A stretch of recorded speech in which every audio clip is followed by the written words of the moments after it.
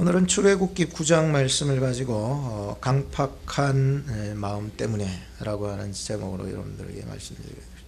한번 따라합시다. 강팍한 마음 때문에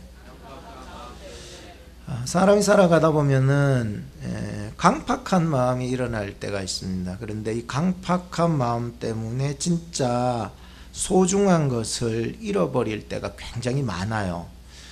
왠지 고집 부리지 말아야 되는데 그거 고집 부려가지고요. 아, 그거 잃어버리는 거예요. 얻지 못해요. 근데 제가 말씀드린 것은 이 땅의 어떤 뭐 보여지는 것을 말해주고 싶진 않아요. 이 강팍함 때문에 참 소중한 것, 하늘의 것, 영원한 것, 영원한 생명에 관한 것, 참된 위로, 회복, 치료하심 이런 것들을 잃어버릴 수가 있다라고 하는 것입니다. 오늘 본문 속에는 세 가지 재앙을 말씀해 주고 있지요.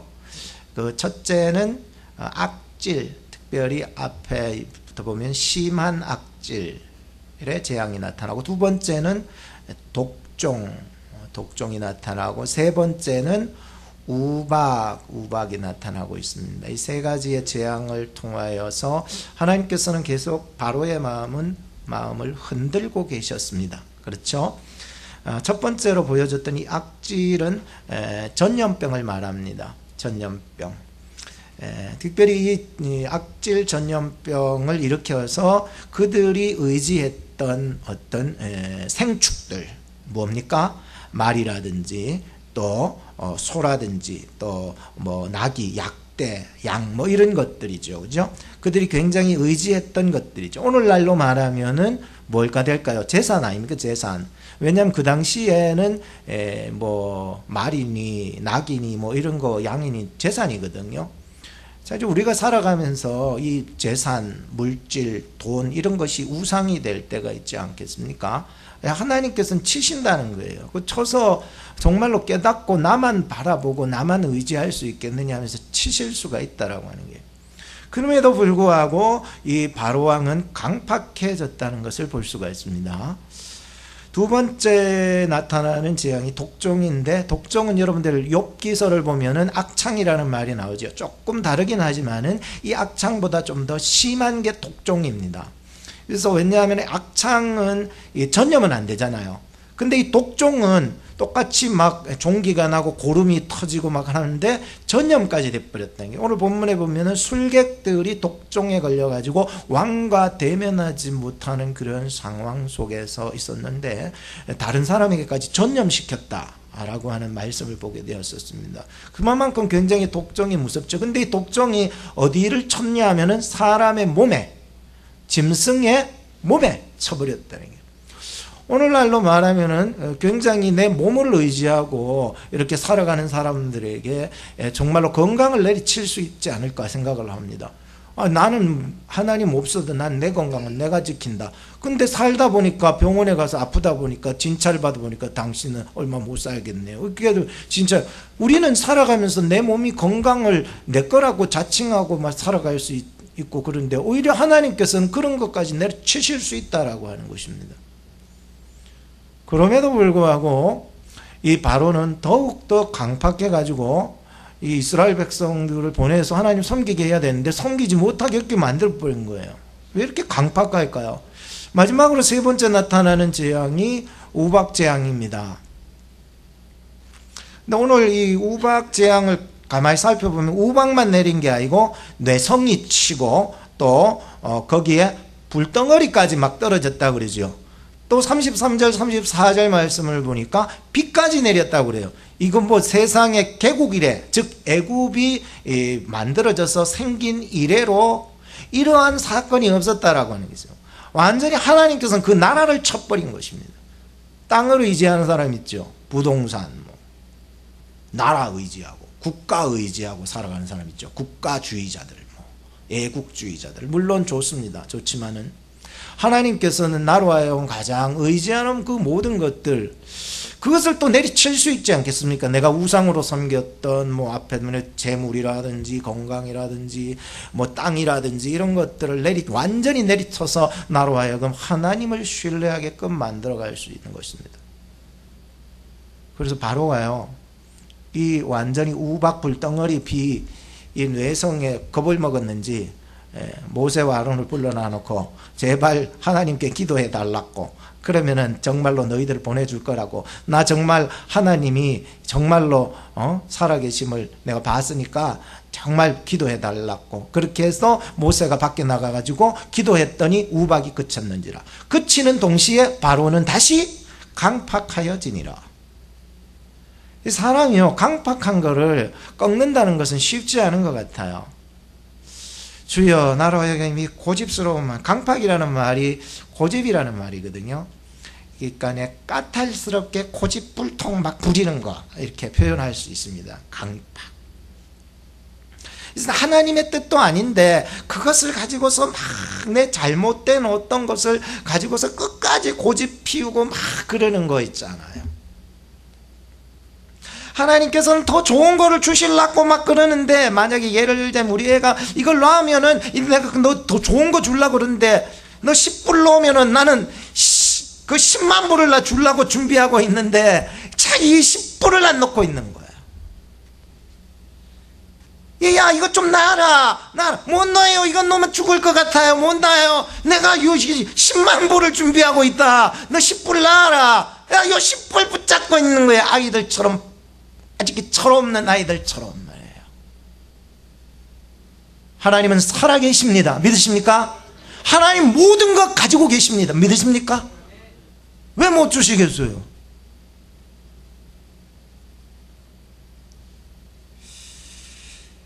중세의 전쟁 중에 보면은 프랑스의 그 샤르마뉴 황제가 있는데 그때 그 황제 사류만 유 황제 12명의 용사들이 있었어요. 근데 그 12명의 용사들 중에 로랑이라고 하는 장군이 있었는데 이 로랑 장군의 이야기가 굉장히 유명합니다.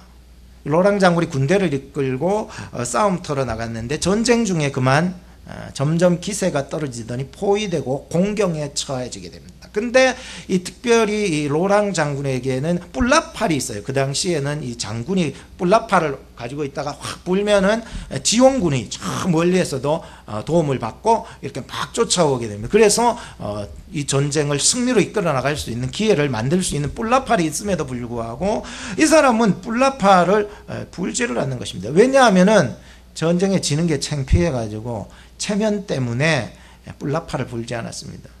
결국 전쟁에서 점점 점점 지더니 결국 거기에 있는 자기 병사들을 다 죽음으로 몰고 가고 자기도 나중에 죽게 되는 이야기입니다. 우리가 아, 조금 더 소중한 것이 무엇일까? 생명이 참 소중한데 그 체면 때문에 결국은 그 고집 때문에 결국은 그 완강한 마음 때문에 결국은 병사들의 생명과 자기 생명까지도 다 잃어버리고 말았다는 이야기입니다. 성경 속에 보면은 하나같이 뭐 고집이나 강팍, 교만, 완강은 하래요 하지 말래요. 혹시 아십니까? 하래요 하지 말래요. 하지 말래요. 고집이나 강팍이나 교만이나 완강한 거는 절대로 하지 말래요. 성경에 다 들춰봐도 그래요. 로마서 2장 5절 말씀만 보더라도 고집과 회개치 않는 마음을 따라 사는 것은 진노의 날에 진노만 더 쌓을 뿐이니라. 이러니까 우리가 고집불통으로 이렇게 사는 거 회개치 않는 그러한 마음 가지고 살아가면은요 어느새 나도 모르게 하나님 앞에 가서 보면은 진노만 더 쌓아가지고 책망거리만 더 쌓게 되는 것밖에 안 되는 것입니다. 오늘 우리 가운데서도 어떻게 보면 우리 마음 속에 내 마음 속에 이 고집과 회개치 않는 마음 때문에 잃어버리는 것이 더 많지 않을까요? 저나 여러분들이 오늘 모세와 또 정말 위인들 많은 선한 위인들처럼 그러한 선한 마음을 가질 수 있었으면 합니다. 오늘 말씀은 이제 강팍한 마음 때문에라고 하는 제목으로 기회를 잃어버린 바로 무엇을 잃어버린 바로 기회를 잃어버린 바로 소유에 집착한 바로 무엇에 집착한 바로 소유에 집착한 바로 집착한 바로에 대해서 말씀을 드립니다. 그래서 크게 내용 뭐 간단하게 내용을 드리면 귀해 혹은 또 소유 여기에 대해서 제가 말씀을 드리겠습니다. 잘 한번 들어보시기 바랍니다. 네.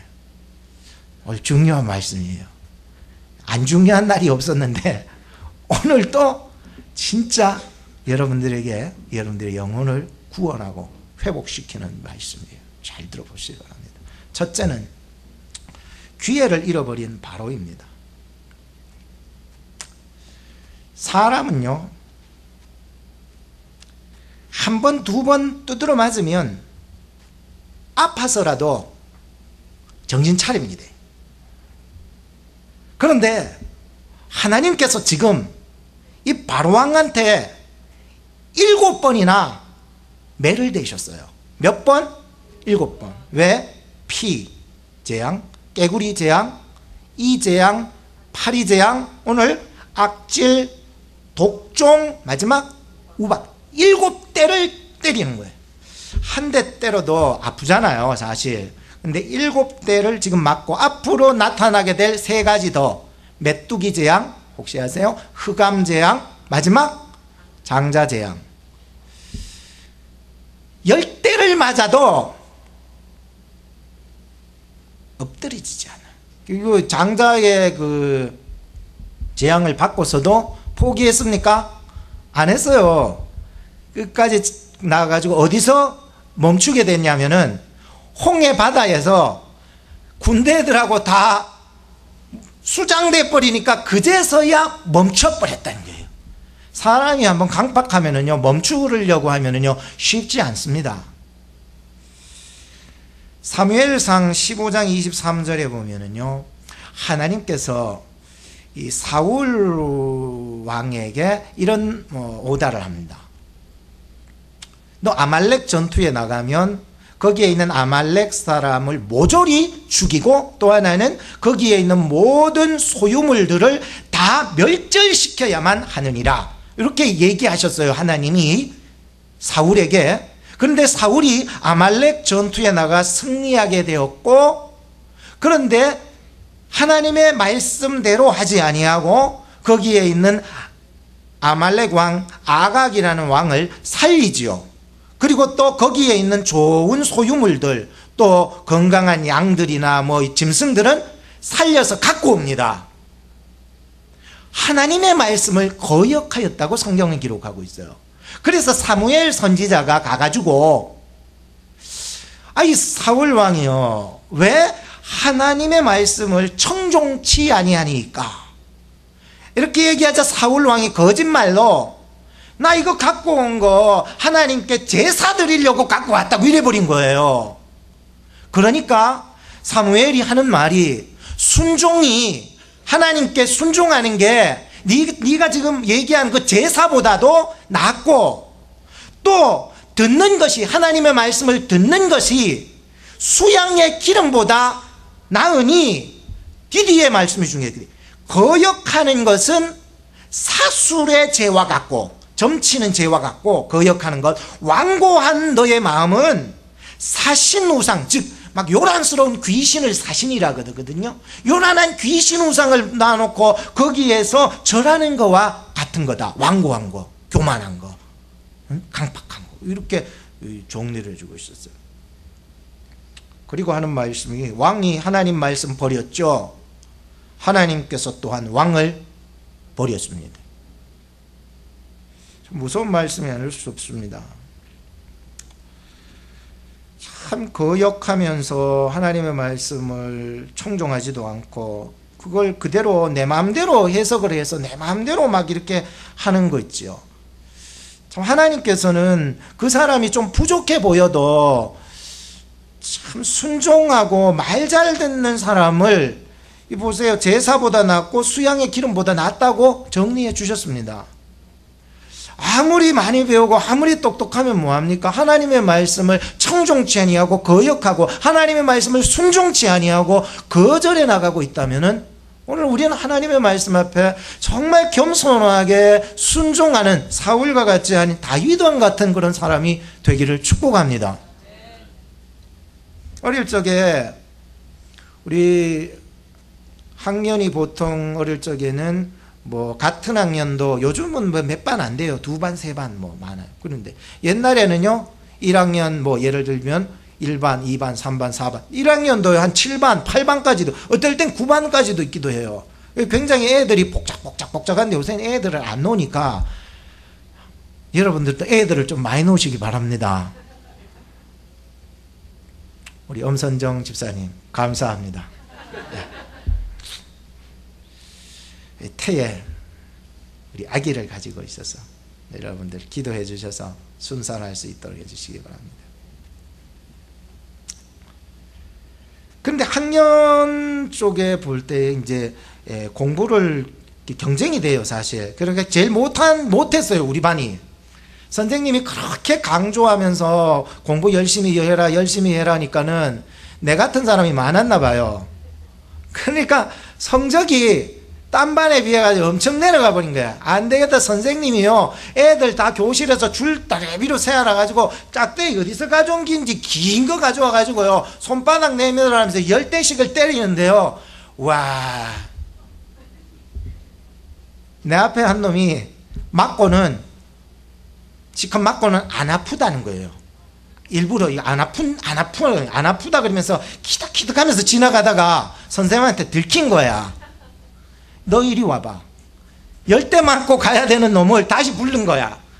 이 놈 더 맞아라면 스무 대를 더 때려버리는데 엎드려 뻗쳐가. 하나님이 말씀하실 때에는요 그것을 경홀하게 들으면 안 돼요. 하나님이요 징계하실 때에 그것을 쉽게 넘기면 안 돼요. 하나님이 나에게 어떤 어려움이나 고난을 주실 때에 그 속에서 하나님의 뜻이 무엇인지 발견하는 사람은 성장이 있 게 되는 거예요. 에이, 뭐, 그럴, 그럴 수도 있지. 이래 넘어가는 사람은요, 절대로 성장이 있을 수 없습니다. 하나님께서는 우리가 죄를 지었다고 해가지고 바로 멸망시키거나 막 지옥 보내는 그런 하나님이 아니세요. 사람은 누구나 다 죄 지을 수 있잖아요. 저도 죄 지을 수 있어요, 없어요? 목사도 죄 지을 수 있습니다. 여러분들도 죄 지을 수 있습니까, 없습니까? 장로님도, 권사님도, 안수집사님도, 여러분들 모든 성도님들도 믿음 좋다고 그러면서도 죄 안 짓는 사람 없어요. 죄 짓는다 해가지고 하나님이 바로 그냥 지옥 형별 갖다 때려버리고 죽여버리고 없애버리는 하나님이 아니시더라니까요. 하나님은요, 반드시 누구라도 회개할 기회를 주시더라. 믿으십니까? 기회라고 하는 거예요. 여러분들 니느웨 알지요? 이방민족 아닙니까? 하나님께서요, 이 니느웨를 멸망시키기 전에 기회를 주셨어요. 어떤 선지자를 보냈습니까?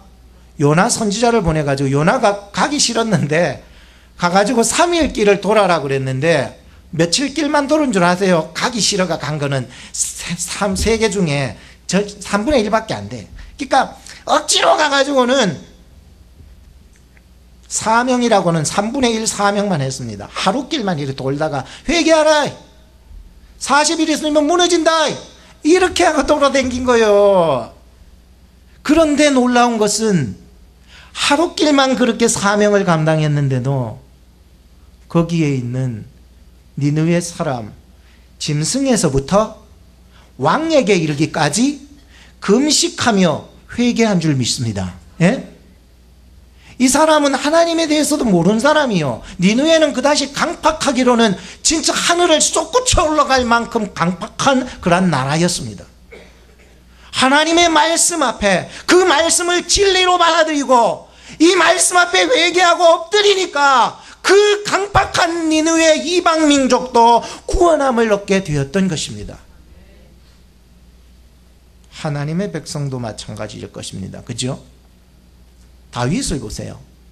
하나님의 마음에 어떤 자라? 합한 자라. 죄 지었어요? 안 지었어요? 승승장구할 때 죄 짓네요. 잘 될 때 보통 사람들이 죄집니다. 한순간 교만해져서 아이고 저기 바세바라고 하는 여인이 저기 있어가지고 홀딱 벗고 목욕하는데 그 모습을 보고 반해가지고 불러들여라 강간해 버렸네. 이거 들킬까 싶어가지고 그의 남편 우리야를 전쟁터에 선봉으로 내밀어가지고 살해 음모를 저질러가지고 죽여버렸네. 누가?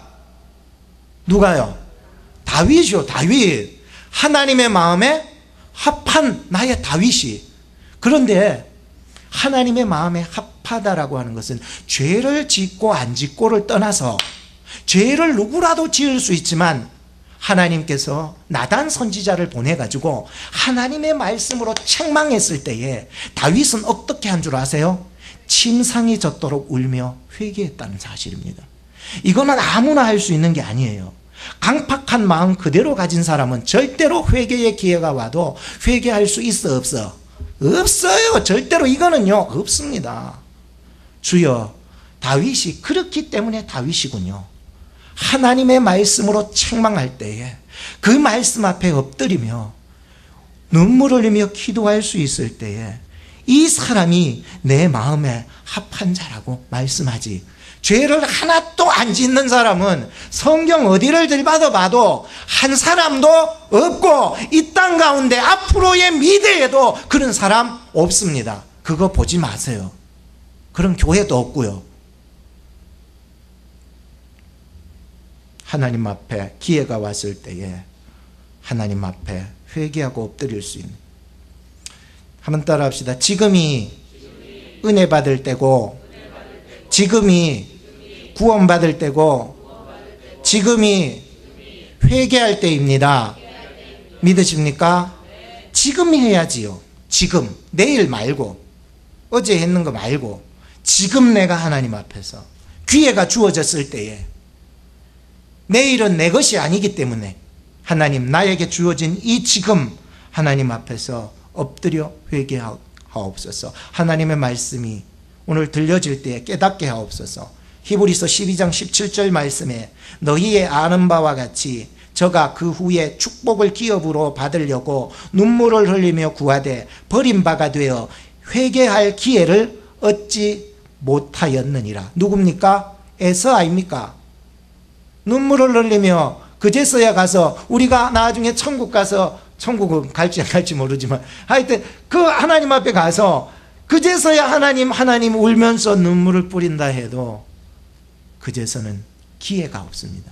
오늘 이 땅에 생명이 있을 때에 지금 기회인 줄로 믿으시기 바랍니다. 그래서 회개는 지금 해야 되는 것입니다. 두 번째 제가 소유에 대해서 말씀드리겠습니다.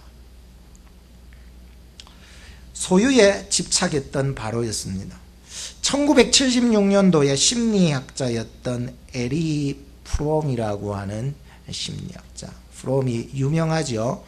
그 사람이 발표했던 음, 그 논문 중에서 소유냐 존재냐 to have or to be 소유냐 존재냐라고 하는 것은 오늘 우리 그리스도인들에게는 굉장한 인생의 삶의 어떤 방향을 바로 설정해 주는 그러한 질문이었던 것이었습니다. 만약에 예수님께서 이 질문을 만약에 들으셨, 들으셨겠죠. 들으셨다면 이렇게 말씀하실 것입니다. 나는 존재의 가치를 두고 있다고. 여기에 대해서 계속해서 말씀을 드립니다. 잘 들으세요. 사무엘 하 13장 말씀에 보면 암론이라고 하는 나쁜 놈이 있어요. 그래서 놈인가 봐요. 암론 이게 나쁜 놈이에요. 암놈이 압살롬의 누이 동생이었던 다마를 강간하는 사건이 일어나요. 근데 이 암론이 자기가 꾀를 써가지고 옆에 있는 사람들에 의해서 꾀를 써가지고 어, 자기가 상, 상사병인 것처럼 이렇게 들러 누워서 어, 그 다마를 자기 방 안방까지 끌어들이게 됩니다. 그리고는 억지로 싫다 하는 그 사촌 여동생을 강간해 버립니다. 이렇게 되자 이 그 후에 이제 암놈이 강간하고 나서의 태도를 보니까 참 희한해요. 강간할 때는 좋은데 가난하고 나서 보니까는 이게 이 성경의 표현대로 연애하던 그 연애보다도 미워하는 그 감정이 연애하는 그 감정보다도 더하여서 미워했다는 표현을 하고 있어요. 그러니까 얼마나 미워했습니까? 완전히 미, 좋아서 미칠 지경으로 좋아했던 그 감정 그보다도 더한 미움이 그에게 발동이 된 거예요. 야, 그래서 사랑이라고 하는 것은요 이렇게 쟁취하고 저건 내 거야 하면서 가지려고 만나면은 이 참 사랑은 오지 않아요. 다말이 이런 말을 했습니다. 나를 쫓아내는 이 악이 아까 전에 행한 이 그 악보다도 지금 나를 쫓아내 버렸거든요.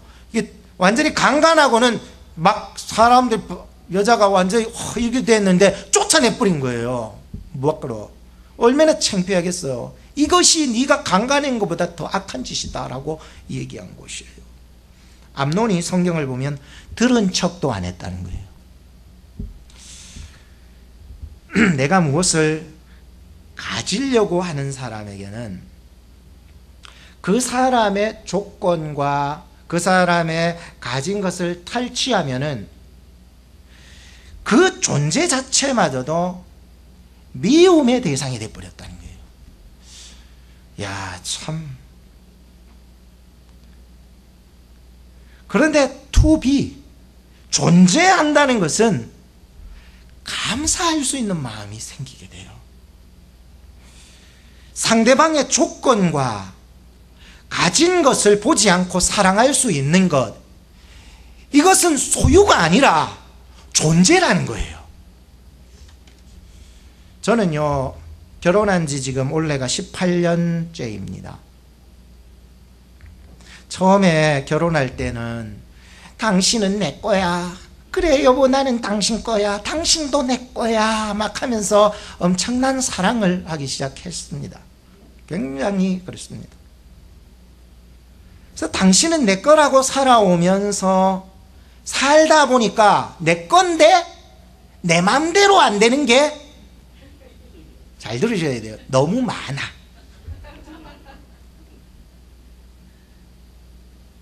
그러니 내 건데 내 맘대로 안 되니까 뭐가 일어나느냐 하면은 작고 큰 전쟁들이 일어나요. 그래서 생각해낸 게 서로 각자의 일에 최선을 다하자. 이거의 답이었어요. 그 당시에는. 그래서 당신은 당신의 일에 최선을 다할 수 있고 나는 나의 일에 최선을 다해 나가는 거예요. 근데 전쟁은 많이 줄었지만 기름 없는 등불을 들고 사는 거와 똑같은 거요. 비유가 맞는지 모르겠어요. 기름 없는 등불과 같은 삶 있죠. 굉장히 몸이 건조하고 허무한 느낌. 각자 자기의 삶에 충실하면 되는 거죠. 너무 몸이 건조해요. 허무하고요. 제가요, 미국 와서 깨졌습니다. 하나님을요, 어려울 때, 가장 어려울 때 하나님을 인격적으로 만나기 전까지는요, 저는 소유적인 삶을 살았어요. 당신 내 거야. 내 마음대로 해야 되니까.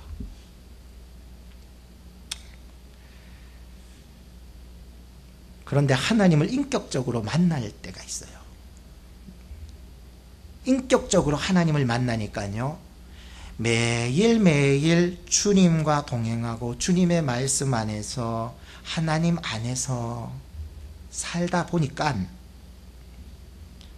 하나님께서 나에게 무엇을 꼭 해주지 않아도 감사한 거요. 이해가 되셔요? 하나님이 나에게 뭔가를 막 퍼부어 주지 않아도 하나님이 그저 나와 함께 계신 것만으로 감사한 거요. 하나님이 그냥 내 곁에 계신 것만으로도 감사한 거요. 이거를요, 내가 주님을 내 삶 가운데 매일매일 말씀 안에서 인격적으로 만나 살아나가다 보니까는 알게 된 거예요.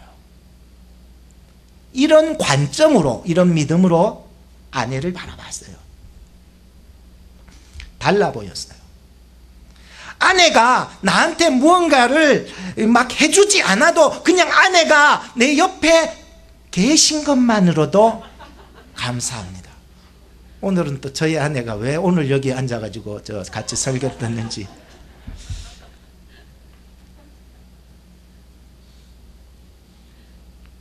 함께 있어주고 곁에 있어주는 것으로서 내게 뭔가 해주지 않아도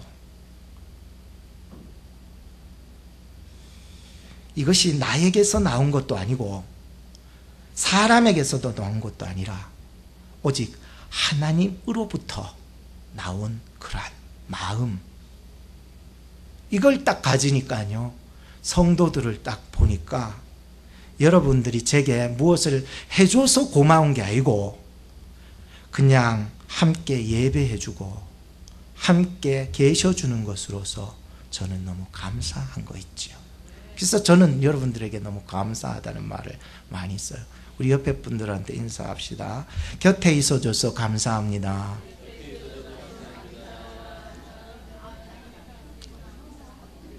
곁에 있는 것만 해도 감사하지요. 당신 못생겨도 병들어도 돈 못 벌어도